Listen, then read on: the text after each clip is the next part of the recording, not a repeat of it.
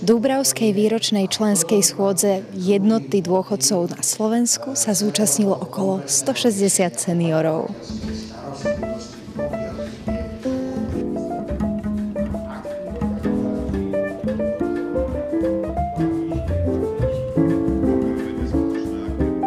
25. januára 2017 sa konala výročná členská schôdza jednoty dôchodcov na Slovensku.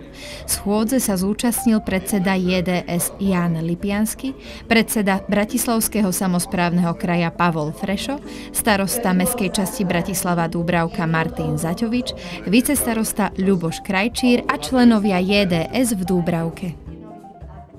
Po príhovore predsedu Bratislavského samozprávneho kraja Pavla Freša a starostu meskej časti Bratislava Dúbravka Martina Zaťoviča nasledovalo slávnostné čítanie z listu poslaného z ústredia JDS od Jana Lipianského, ktorý obsahoval slová vďaky za minuloročné úspechy a aktívnu činnosť organizácií a členom JDS za ich dobrovoľníckú prácu, ale aj nastolenie tém riešených v nasledujúcom období.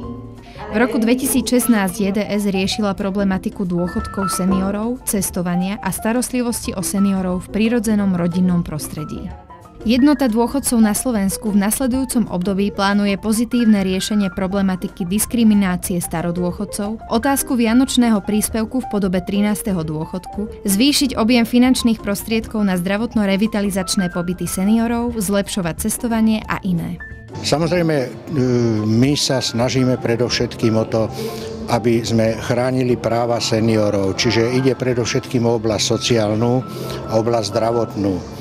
Tam teraz momentálne je aktuálne e, pripraviť a spolupodielať sa na doriešenie diskriminácie seniorov ešte z 1. januára 2004 ktorú poznáme ako starodôchodcovia. Tak pevne verím, že to bude v prospech, i keď už menšej skupiny seniorov, pretože 12 rokov je 12 rokov.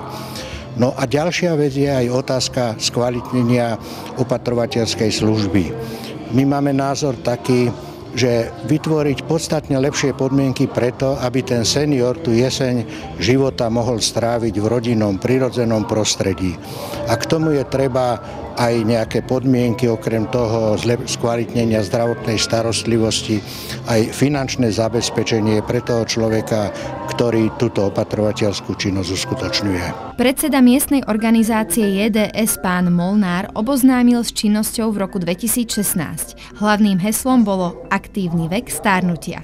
Činnosť preto bola rozdelená na vzdelávacie aktivity, kultúrno-spoločenské podujatia, exkurziu za poznaním a liečebné pobyty a aktivity. Aj v tomto roku členovia JDS v Dúbravke budú mať možnosť absolvovať množstvo aktivít a podujatí, ktoré sú už pre dúbravských seniorov pripravené. Tento rok máme záujem tiež o vlakové e, zájazdy a autobusové exkurzie. Úvaha je navštíviť e, miesta ako vlakom a to do Žiliny, E, do Čachtíc, teda Čachtický hrad a samozrejme najnovšie, teraz vo februári na Hrebienok, na Ladový dom. Autobusová exkurzia na prvý rok je zameraná na Topolčianky, kde sídlil prezident, volá kedy, a na Arboretum Mlíňanoch. Úvaha ďalej je mesiaci september navštíviť teda taký týždenný pobyt v Tatrách, teda v, v Soreji, Uráne. Potom je ešte úvaha navštíviť aj Vianočné trhy. A potom máme veľa aktivít spolu, spolu s pánom starostom a spolu s e, radou seniorov, o ktorých teda boli informovaní naši členovia. Čo by ste popriali seniorom? To je úplne jednoduché, že nech sa tu o rok zase všetci zdraví stretneme a všetko bude v úplnom poriadku, lebo keď to zdravie budeme mať, tak vidíte, že tá činnorodosť aktivita zaujme tak veľký, že ten rok bude nádherný. Že